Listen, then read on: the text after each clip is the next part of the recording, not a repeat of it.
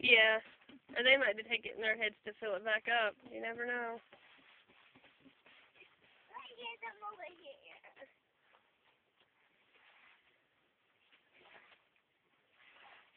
Get here.